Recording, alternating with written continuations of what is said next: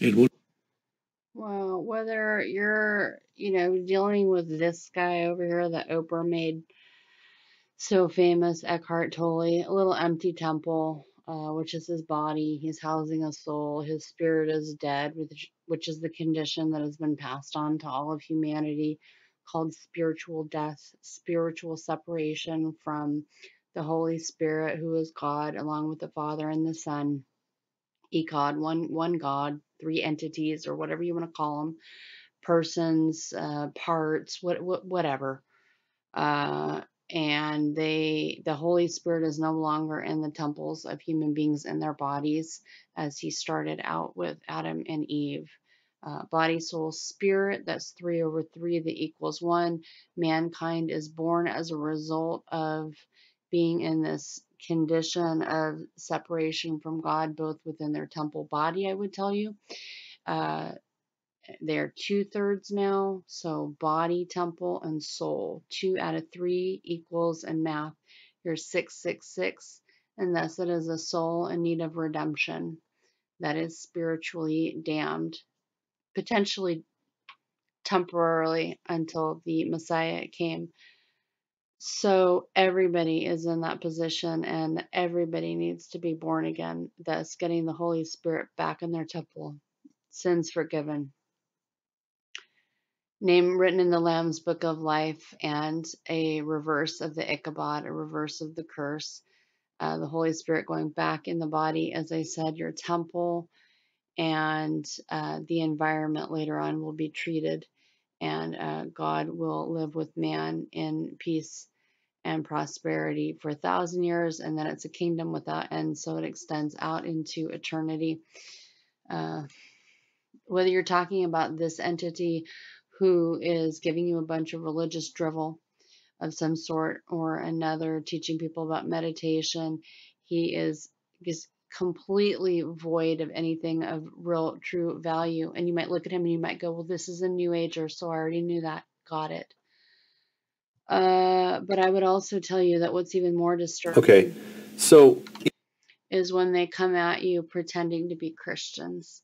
And I'm really, really getting tired of this. Um, I used to listen to this gentleman, God Rules, uh, some time ago. I used to listen to a lot, I mean, a lot of YouTubers. Not really a lot of women, a few women, but mostly men uh, for one reason or another. And the moment that he started playing around and retooling scripture and saying that hell wasn't eternal, that it was only for one age and not the ages of ages, which means continuous one after the next after the next. Uh, for those who have refused to have their sins put on the cross, which is what Jesus wanted people to do, uh, if you do not put your sins on the cross, then you will have to go pay for those sins yourself. And if you don't let Him get rid of them for you, they will forever be there. And so when He uh, played around with that scripture, I was done. And I have done that with many people that I listened to and many people that I trusted, many uh, legit ministries, and so on and so forth. And the moment that uh, I am so sensitive now that the moment uh, somebody starts bringing something that is absolutely insane, I'm just done with them. Just done. Because the truth matters. And I know that uh, scripture tells me that few be that will, will find eternal life and let him, you know, gift us this gift. And there's so many people out there on, on a different topic that they they refuse to let god alone christ alone by the blood alone through grace alone save them. And they just have to contribute to their salvation somehow. They have to put some kind of you know something of their own up on that cross with that sinless perfect unblemished lamb of god and nullify the whole thing and people are completely within their rights to do that if they want to just, what is a nice word for that? Um, is kiss their eternal life with Christ goodbye. That is a really, really good couple ways to do it in resisting what God wants to do. Now, one of my commenters, friends, had uh, mentioned that this gentleman was teaching weirdness. Mm, So I went to his channel. He's got quite a few videos here, and I went snooping around, so to speak, to find out if I could figure out which one was where uh, one of my commenters said that this gentleman was saying that the Holy Spirit was the divine feminine, a girl, which is very Kabbalah. And it really makes up a huge portion of your paganistic goddess religions by people that are not saved and not born again. And I just, Christ specifically, well, that's that's horrible for number one. And I found it here. It's his uh, mysterious truth about the Trinity. And so this person is not born again. I, I do think that you can be in error if you're born again, but I don't think you will ever stay in error. And also, when you start considering the level of influence that uh, you can have on others, nearly 2,900 people as computers or devices have listened to whatever drivel he's going to tell you. And I haven't heard everything that he has to say yet, but in looking down at the comments, people that have absolutely not the slightest ounce of discernment in any way whatsoever, except for a few, uh, were commenting. There was another video that I saw on YouTube before I found your videos where this pastor was teaching in a church that the Holy Spirit is a woman. I can't remember what church that was called, though. Okay. Like, seriously? what is God knowing that your Lord your God has given judgment to him? I don't even know what that means. I'm hoping he's quoting something in there because that means nothing to me. Hence the saying woman's intuition. Whoops. So. And Yes, the word philosophy comes from the ancient Greek philo, uh, Sophia, which literally means the love of wisdom. Mm-hmm. And I want to see what he has to say here. Oh my word. Apollo, love of the Holy Spirit. However, the world has a counterfeit wisdom. Well, no kidding. And you're apparently passing it off to these people that don't know how to tell their left hand from their right. Um, sure, yeah. The Holy Spirit revealed herself to me as a female as well. Do these people not understand that you're not supposed to just take in whatever spirit or teaching or attitude or entity or human in a, in a potentially empty temple says to you, you're supposed to test the spirits. What do you test it against? The Word of God. Okay, Jerusalem and Zion were also called a woman. Well, yes, there's there's a literary tool called personification which means that just like Uncle Sam is, you know, pictured as an old man with a large top hat and he represents our nation, it's a literary device to help you understand. People would also understand the Grim Reaper. It's not actually a human, it's a state that happens to you when your soul peels off from your body.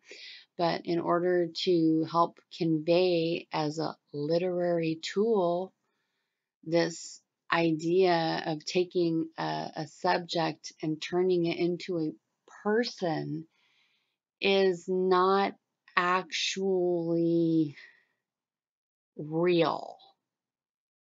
It's something writers use. And when you have Jerusalem or you have Zion being communicated in the scripture, specifically in Galatians, she is called our mother. She's not real. She's a covenant. The covenant gives birth, glorification, to justified, sanctified Christians and Jews in Christ. She's not a real person. She is a construct that has been given personification she's quoted by Paul in Galatians 4. Oh, go to 26, 27, somewhere in there. and he makes sense of what Isaiah said of her giving birth to her children. That's glorification at the harpazo on the day of judgment, the Yom Hadin, Feast of Trumpets, etc. When he fulfills that, we get new flesh. It's the eternal life given to us in our new flesh, like what Christ had on the first fruits.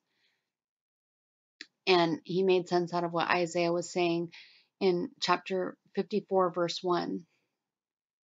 And it makes uh, more sense when the apostle and prophet John brought her up again in Revelation 12. Oh, goodness.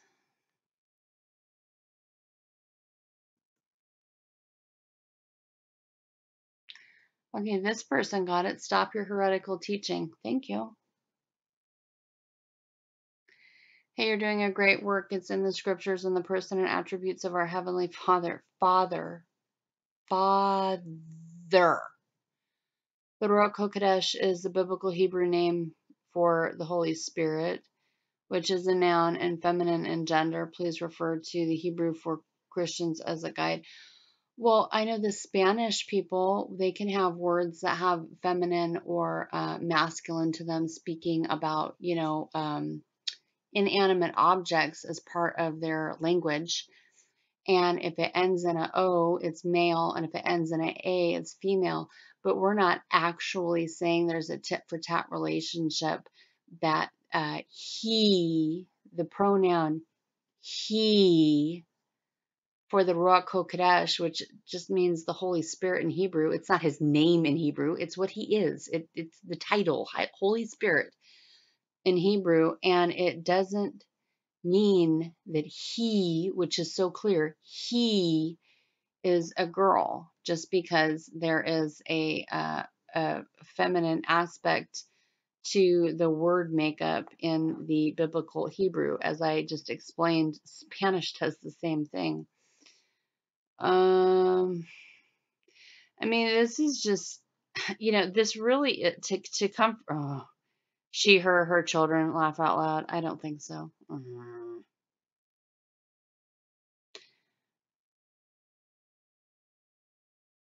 Well, I mean, I can't really blame you. I've listened to most of R.C. Sproul's, John MacArthur's, Alistair Begg, and Paul Washer's preaching for long hours, and I'm not even Calvinist. I hear you, Lan. I hear you. But I can't stand listening to you for five minutes. I mean, I get it. This is just, so he's attracted all these New Agers. John 1 1 through 5 in the beginning was no. The Word, the Logos, not God, God as deity, deities, divine, divinity, divinities, and that spoken words of wisdom is, and blah, blah. I can't even read all this nonsense. You've just, you've, you, you've paraded out this heretical nastiness, pretending to be a Christian. You're a big giant liar. You're leading people astray. I mean, there's lots of ways that you can blaspheme the Holy Spirit, but I definitely think this is one of the more creative ways to do it when you dig in an unbelief and then you play around with the character and the nature and the makeup of who and what God is. If God wanted to be known as a goddess, he would have that written all over his word, and actual Christians would see that in the pages of their Bible. Bibles are thick, thick, and there's a lot of information in them. I am so annoyed right now because I am so tired of what I'm seeing happen in the church. Yet, I am so comforted because God's word tells me this is exactly what you're going to have happen. You're going to have so many liars coming in the end days who will not hold the sound doctrine, but rather they will they will, you know, heap to themselves teachers and they'll have itching ears and they will turn aside from these sound teachings and they will they will turn towards myths mythos falsehoods lies. It's just disgusting. Oh my word. Tony what do you think of people calling the holy spirit which is sophia in greek? No and ruach in Hebrew a ghost. Isn't that blasphemy? Well, I mean, the King James says ghost, but I don't love that. I don't, I, I'm not even, okay, I'm done in the comments. This is probably going to make me mad, actually. So he is going to do some major eisegesis here. I just feel it coming. He's talking about how we're made in the image of God, and he is going to explain the Bible to you because he knows as he parades around like a Christian and people listen to him. In his image, what it's saying is we're actually literally made in the Trinity's image. God the Father, man is made in the image of God the Father. The Holy Spirit is the female of the Trinity, and the woman is made in the image of the Holy Spirit. No. Children are made in the image of Jesus Christ. Okay, this is actually what it is. No, it's not. That is all in your vain imagination and godless chatter. It is all made up. God made Adam, and Adam or Adam means mankind, right? He literally fashioned mankind, Adam, out of the dirt of the earth. And however exactly all that worked with science, I mean, God's the one that thought of like water and oxygen and molecules and subatomic particles and you know, all kinds of things. So if he's explaining to us simple in the Bible, it's not because he's simple, it's because we are. And he makes Adam, and how does he get the female? Let's see, let's see. Did did did Adam trip over her? No, no, that's not it. No. Uh, God took Adam's stem cell rich rib and crafted from the man, from the man, I say, the mother of all life, which is what Eve means, and then they procreate, they um, procreate, and you've got the seed and the egg, right? And we don't need to go over the finite details of how life is born, but did you know that there is a little spark of light that occurs within the uh, woman when this union happens? Very interesting.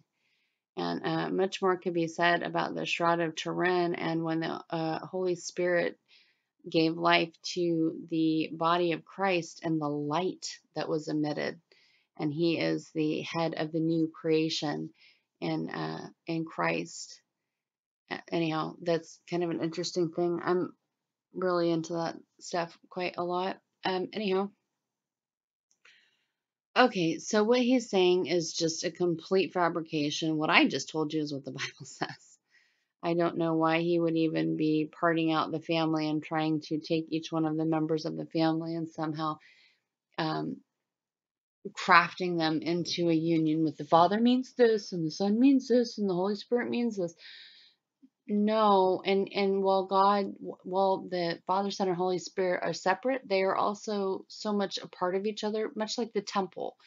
The temple had three parts to it, and n- none of it by itself was the temple. There was the outer court, the inner court, and the Holy of Holies, and they all went together. And so that is to help you understand how God works. And you could put all three of them in a room together the Father, and put the Son next to him, and then put the Holy Spirit next to him.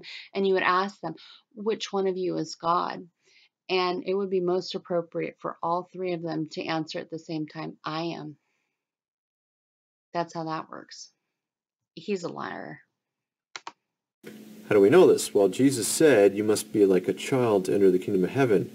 And we know that Jesus, when he was on earth, obeyed the Father. Okay. So what does that have to do with having a level of trust that is just implicit within children? They they just have this sweetness and they they bow to authority. It is just in the social structure of life and humanity.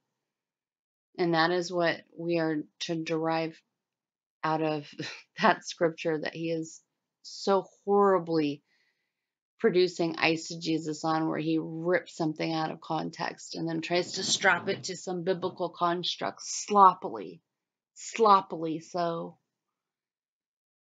I don't know if this is just a man who truly should not be in the business of encouraging and teaching people. This is horrific. And we're only two minutes in.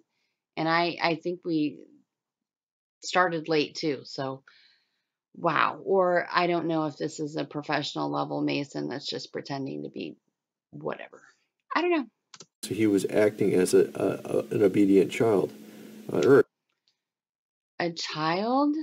N- no. He, uh. he was called the last Adam, the last man of mankind. He is not a child. And while he is God's son, he started his ministry as an adult. There's a reason, I think, probably, I don't know what all of it is, but there was some value in having Christ hold off. The Bible says uh, till he was about 30. Now, whether that means he was on the edge of 29, about ready to turn 30, he's a Feast of Trumpets, uh, 9 11 3 BC baby. We know this for a fact.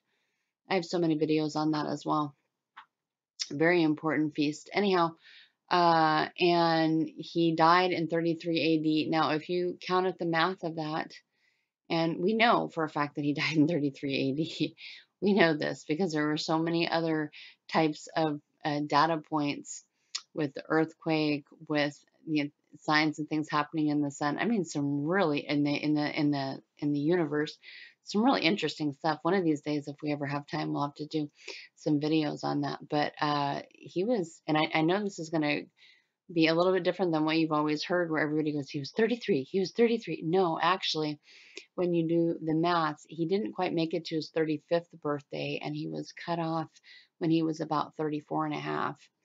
And uh, anyhow, there was a reason why God had him wait until he was, you know, 29, 30 uh, to begin doing what he was doing. And there is a whole developmental thing there with the brain. And uh, I don't think that you could even remotely try to say that Jesus was uh, childlike. That is just patently ridiculous. What is wrong with you? Earth. God the Father is the Father. So that's a male figure in the family head. Oh my gosh. The the whole Godhead, and I hate that word Trinity. I mean, I've grown up with it, but in the Bible, in uh, Acts, Romans, and Colossians, it says Godhead, and head means ruler, so God ruler. But people use use Trinity. That's fine. I don't. I don't love labels. Um, but you know, Father, Son, and Holy Spirit are all called with the male pronouns all throughout the Bible. I'm guessing hundreds, if not a thousand times. Male, male, male, male, male. I can't even believe that he can say this with a straight face and that people uh, just tolerate this and put up with it. I, I really, um, it makes me angry. because um, there's a lot of things you can be wrong about the color that you think looks good on you or the dress that you wear or you know, that you think you can bake or cook or, you know, what it whatever, whatever. But you, the one thing you don't want to be wrong about is how you acquire salvation. And you better be going to the correct understanding of God in order to receive that. That is very important. And the Holy Spirit is the mother. No. Okay. And she's a spirit. No. Which is hidden. No. And where did woman come from? The man's rib. Woman came from inside man from his rib, something hidden that you can't see. Well, when God opened him up and took the the rib out, could you see it if you were there? Yes. And don't be acting like you know what spirit is. Really, none of us know what spirit is. There, there is a mystery to some extent. And when we, well, not all of us, but when we go to see the Father and we look at him, we'll be like, oh, that's what Spirit is. And the Holy Spirit, oh, that's what Spirit is.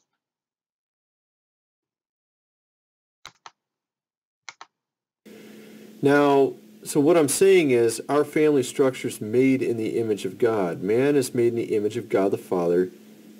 Woman is made in the image of the Holy Spirit. No. And children are made in the image of Jesus Christ. No. Now, what is likeness? It says we're made in his likeness as well. Well, actually, it's pretty simple as well. We are mind, body, and spirit. By mind, we're referring to God the Father, who is head of the home, head of the house, head of the house I think you mean soul. of God. He's the mind, okay, controlling things. Now, the the the spirit is obviously the Holy Spirit. Shouldn't take a Yes, but everybody is born with a dead spirit, and the Holy Spirit is not in their temple because of what I already explained, which is why Christ wants you to become born again. So you get the Holy Spirit to go back in your temple. a rocket scientist figure that one out. And Jesus is God in the flesh or the body. Yes, that part is correct. The the flesh, the temple. Yes. So you're comprised of soul, spirit, and flesh, which is your temple. Remember, he came down on earth in the flesh. Yeah, we know. So he's actually the flesh of God. Okay, so we have mind, body, spirit. The flesh of God. What does that even mean? He took Philippians 2 tells us this. He took on human flesh. He's not the flesh of God. God is spirit, and all who worship him will worship him in spirit and truth. John 4. He's not the flesh of God. He took on flesh to be as the last Adam. 1 Corinthians 45. This guy is not saved and does not know what he's talking about. So this is actually how it breaks down. Now, the reason why there's a lot of confusion on the God topic is because the Holy Spirit has been basically misunderstood. No, he hasn't. We have extremely clear teachings in the book of John and uh, in the rest of the Bible that tells us exactly the role of the paraclete. He is our teacher, he is our guide, he is our guarantor, he is what gives us the spirit inside that is quickened and made alive. He is what gives us the ability to even have, like, what I'm going to call a spiritual antenna for your soul and your flesh to even get the things of God. Um, the the Bible is so replete with information about the Holy Spirit. You could do probably weeks and weeks, maybe a month or more of deep, rich Bible study, just looking at the original language and understanding everything about the Holy Spirit and what He does. No, we're we're we're we're not in confusion. You're in confusion. and the, the concept, uh, the true concept of the Holy Spirit has been lost in the church No. because of paganism, because of Oh my word. uh, corruption. In the You're fourth correct. century, particularly, a lot of corruption came into the church. Um, Irenaeus was one of the very early church fathers. He taught that the Holy Spirit was a woman, a female. And actually, Jesus did as too. Jesus did as well, but no one really notices because of the way he said it. Let me show you. Did he not just say that a whole bunch of error came into the church and then he mentioned Irenaeus and then he says that what Irenaeus said is that God is a woman. And this is the very um, core of what he is trying to teach. His thesis is that God is is part woman. So basically what you have is a Kabbalistic he she God according to what he is thinking. This here should be capitalized. It Well, how come it's not? How come it's not capitalized?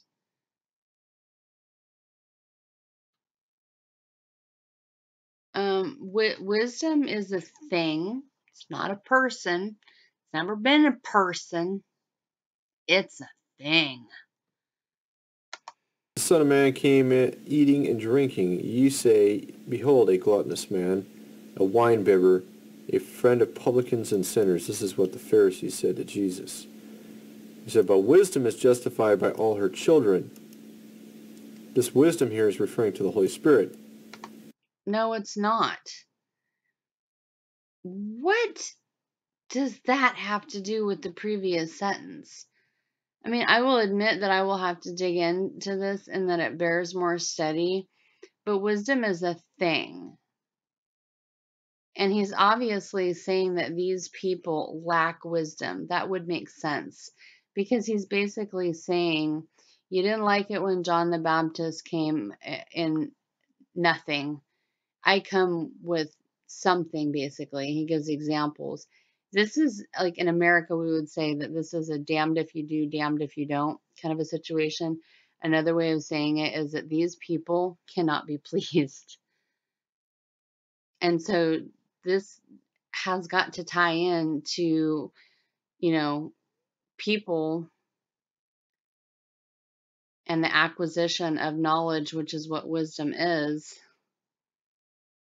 And there's probably more to it than that. I admit that it bears more study, but what he's saying is just insane. There there is nothing in any of this that communicates that this is the Holy Spirit. This is ridiculous. This is an empty temple. This this person, if they got in a car accident, they'd have to be paying for their own sins. Let me show you how you know that. Now, if you ask any Christian theologian about this topic, if they've actually studied anything about Proverbs 8, they'll have basically an opinion about this, who wisdom is. Wisdom is an opinion, but you see, and those are theologians. So you're well studied, can read everything in the original language, theologians that, that they are paid to know what they're talking about. They may not necessarily get that across to you if they're Masons, uh, which this guy could be, I don't know. But uh, he discredits all of their training, all of their knowledge, and he tells you that if they enter in an opinion, uh, if they enter in some type of teaching, that it's it's only going to be opinion based. And he is now going to Proverbs 8, where this is an example of the literary tool I already discussed with you called personification. And I already gave you two examples of how that is done. This is not the Holy Spirit. This is the necessity to use wisdom in your life that the Bible is using, which is written in the Bible. And if you go to the Bible, then the Bible informs you of everything you need to know about life and reality. And this is uh, much more could be said about this, but there is not an ounce of anywhere in this chapter where it is suggesting that this is God. It is merely applied knowledge, which is what wisdom is. You are such a liar. Is declared by basically most theologians to be God. No. One of the Godhead. No. Wisdom is in Proverbs 8, and the way it's being described, it has attributes that refer to God. No. Now, what most of them do is they say that this wisdom character being described in Proverbs 8 is Jesus Christ. No. However, as I just read, Jesus talks about wisdom as being another person. No, it's a thing. And wisdom happens. Nouns are people, places, or things. Wisdom is a mental construct for achieving knowledge that is applied to a scenario by which you make a good choice that is efficacious to you or someone else. That is what wisdom is. And when you use this applied knowledge in the best case scenario, and God has lots of wisdom and knowledge because he's God and stuff. That is what wisdom is. It is about making choices that are going to be for your benefit. This man is making me really angry. It's To be a she.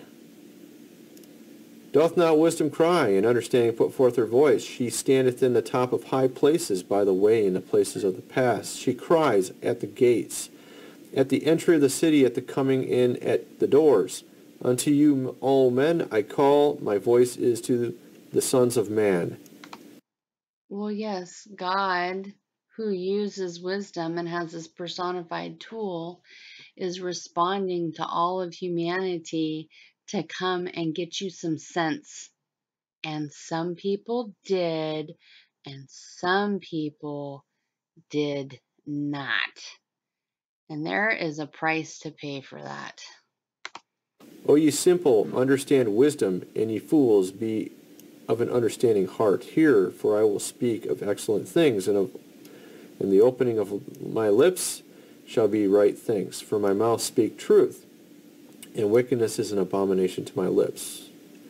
And all the words of my mouth are in righteousness. There is nothing forward or perverse in them. They are all plain to him that understandeth, and right to him that hath knowledge. Okay, and it goes on, it says, I wisdom dwell with prudence, and find out knowledge of witty inventions. Okay, and it continues on, and it says here, The Lord possessed me in the beginning of his way, before his works of old. Well, yes, God has wisdom. That's why he's God. I was set up from everlasting, from the beginning of ever the earth was. When there was no depths, I was brought forth, when there was no fountains abounding in water. Before the mountains were settled. Now this is interesting, it says no depths. See, if you read Genesis, it says the Spirit was hovering or brooding over the waters, over the deep, it actually says, depths. So this is actually a hint that it's referring to the Holy Spirit. No, it's not. This is merely poetic language. And God has a plan that He's going to use to bring forth people to Himself, and He uses knowledge, which is applied wisdom, or applied knowledge is wisdom, rather. Um, I I really can't believe people are to the point where they just string together whatever they feel like, and they they do not listen to James' warning that not all of you should be teachers. You'll be I'll do a stricter stricter standard. And so Proverbs is actually referring to the Holy Spirit. The term No. wisdom in Greek is Sophia. Okay, now there's obviously some Gnostic inf- You think? Yeah, Gnosticism. uh, infiltration where they try to take this Sophia term and hijack it and pervert it and all this kind of stuff. But uh, in actuality, it's a it's actually where they're trying to, to, to take the truth and put a spin on it and then steal the truth from Christians so that I I I would they're trying to to take the truth and put a spin on it. I have been seeing this technique being used over and over again by YouTuber after YouTuber who tries to tell you something similar in this nature. So whether it's John Pounders and them trying to say that you can totally get to God through your pineal gland and that your third eye is what that is, and that you uh, just have Satan taking that and counterfeiting that, but you can totally have a Christianized version of it, and other examples that can be given. Uh, that that that is adventures in missing the point and he's now trying to do it too well there, see there is a sophia thing but see they just counterfeited the good thing that god has for you where you know you have this he she god how is this any bit different than the shack how is this any bit different than setting you up for mother earth paganism and all that nonsense I, I would love if somebody knew this guy and could confirm if he was a Mason or not, because I don't think anybody can just be this ignorant just for the sake of being ignorant without it being agenda driven. they don't even have a clue about this. And then they also pervert what was actually originally the truth. And then they take that. That doesn't. That's how the devil works often. A couple things I want to No, what you're doing is exactly how the devil works transforming himself into an angel of light and transforming his children into ministers of righteousness. And there you go. I want to point out real simply uh, for your observation. Proverbs 8, it's talking about someone that nobody can see crying out, teaching wisdom. this is unbelievably bad teaching. You you you can't see wisdom. It doesn't mean it's a person. Now, it doesn't take a rocket scientist to figure out who that would be in the New Testament. Who's invisible, who talks to men's hearts? Oh the my Holy word. Spirit. The Holy Spirit brings people to repentance. Of course, people lose this correlation when they go to the New Testament. Even wisdom is a gift of the Holy Spirit. Wisdom is one of the seven gifts of the Holy Spirit enumerated in Isaiah 11. Yes, the Holy Spirit gives applied knowledge to spiritual things so that you can understand spiritual things. This does not even make the slightest ounce of sense what this man is saying. I would have to tell you that this is a biblical fool. This is an unwise virgin. This is a liar. This is your garden variety plastic Christian liar. I'm not even specifically like I don't have anything personal against this guy. Um I don't I don't like him lying to me and everybody else. I will say that though. Um his eisegesis just absolutely sucks. It's so bad. His hermeneutics are so bad. 2 through 3. Okay? So, what's interesting about this topic is there's even also deuterocanonical books that refer to this wisdom character and indicating it's a she and it's the Holy Spirit. How is this not Gnosticism? Why would you even go to Catholic books? Are you insane? Let me find that. In the Deuterocanonical Book of Wisdom, we find this in chapter 7. Wisdom is said to be the fashioner of all things. Verse 22, because she fashions all things, is an associate in God's works. Well, they've added the word God.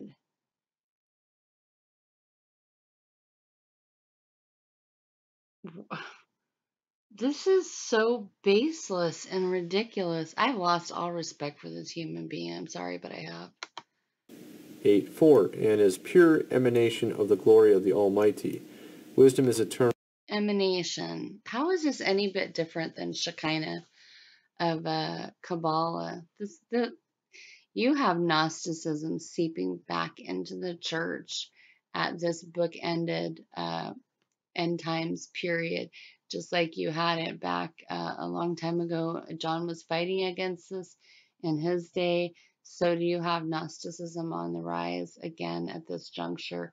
And you know these YouTube channels. This really is a seedbed. I'm not going to listen anymore because I've had it. I'm tired of him blaspheming my Lord. This is absolutely disgusting and I'm not going to subject myself to listening to this nonsense anymore. I could only go about nine minutes. Um, apparently, this person. I'm sorry, he doesn't care about the truth. He doesn't care about the character and nature of God. So that's fine. I mean, yeah, he's teaching Gnosticism. And Gnosticism, Sophia is a feminine figure analogous to the human soul, but also simultaneously one of the feminine aspects of God. This is Gnosticism. Uh, you cannot be saved and hold to Gnosticism. Gnostics held that she was the Sid Ziggy, I don't know what that is, female twin divine aeon. Oh my word of Jesus. Oh, that is just weird. i.e., the bride of Christ and the Holy Spirit of the Trinity. How is what he's saying any bit different?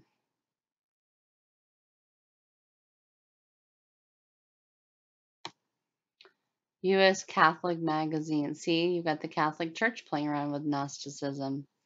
The biblical Sophia is more than a metaphor. She is an expression of the presence of God. No, she's not. I knew that God was neither male nor female. Oh, my word. But I also knew God to be blah, blah, blah, some sort of nonsense.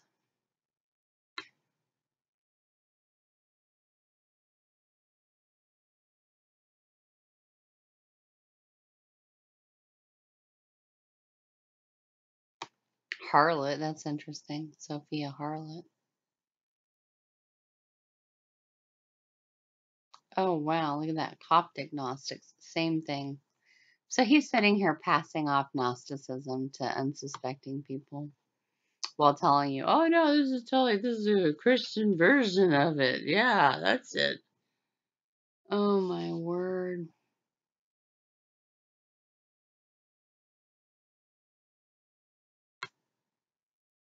Oh, look at that. Sophia, Queen of Heaven. Gnostic Aeons. Gnostic creation story. So yeah, I, I tend to wonder what level of Mason this guy is. This hidden knowledge. Look at that. How crazy is that? Oh, look at that.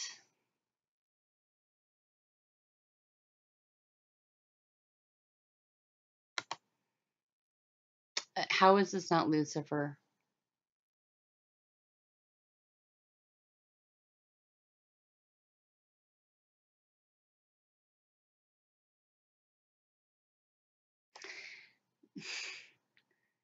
Did you see his little fancy footwork where he says that Irenaeus was saying wrong, but then he's saying the same thing Irenaeus said?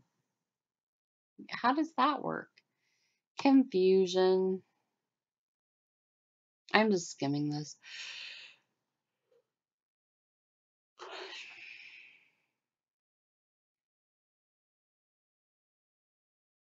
This is really disgusting. I wanted to look at this really quick. Yeah, I don't think I can blow that up anymore, but um oh, it will let me a little bit, maybe. Whew, too big. Oh, good, it's all in another language. Or is that Latin? I, I'll live without it. Well, it'll be okay.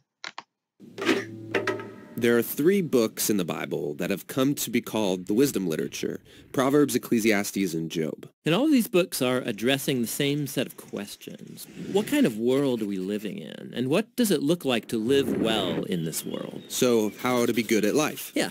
So each of these books tackles these questions from a unique perspective, and it's important to understand all of them to get a fully biblical perspective on the good life. So as a thought experiment, you could actually imagine each of these books as a person. So Proverbs would be like this brilliant young teacher, and Ecclesiastes the sharp middle-aged critic, and Job would be this weathered old man who's seen a lot in his day. We're going to start by meeting the book of Proverbs, the brilliant young teacher. And she's not just smart, she's smart about everything, work, relationships, sex, spirituality.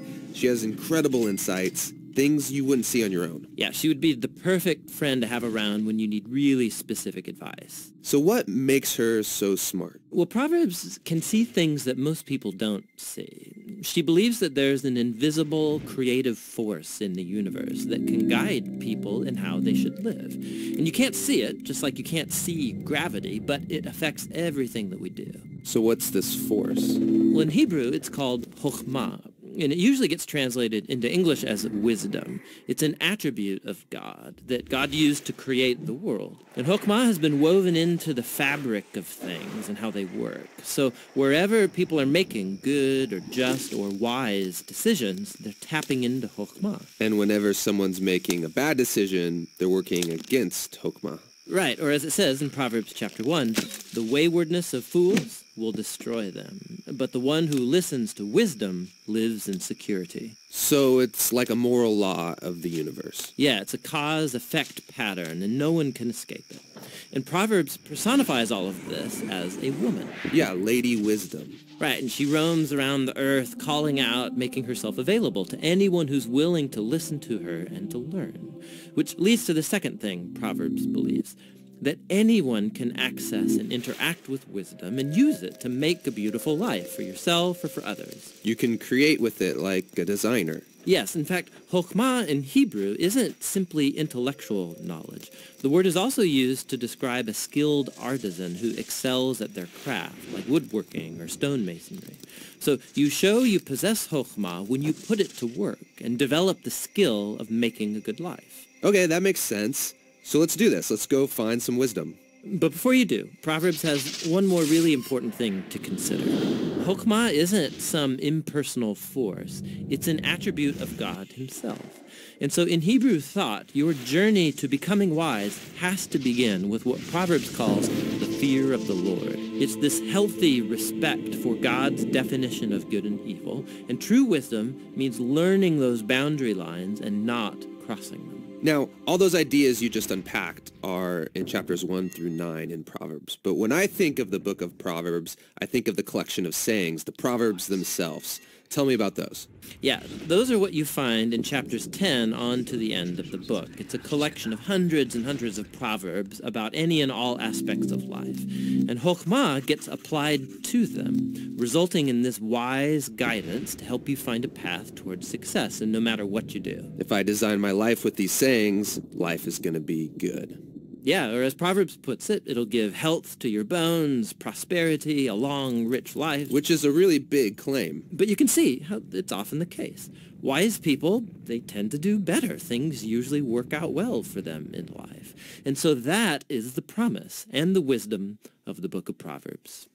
The book of Proverbs is really beautiful, but if we take a step back, some people would argue it's a little too simplistic because sometimes horrible things happen to really wise people, and sometimes oh. foolish people get rewarded. It doesn't always work the way we think it should work. That's right. Eh, which is why we need to go and listen to our next wise friend, Ecclesiastes the critic, because he's wrestled with that very problem, and he's going to push us further in our journey to find the good life.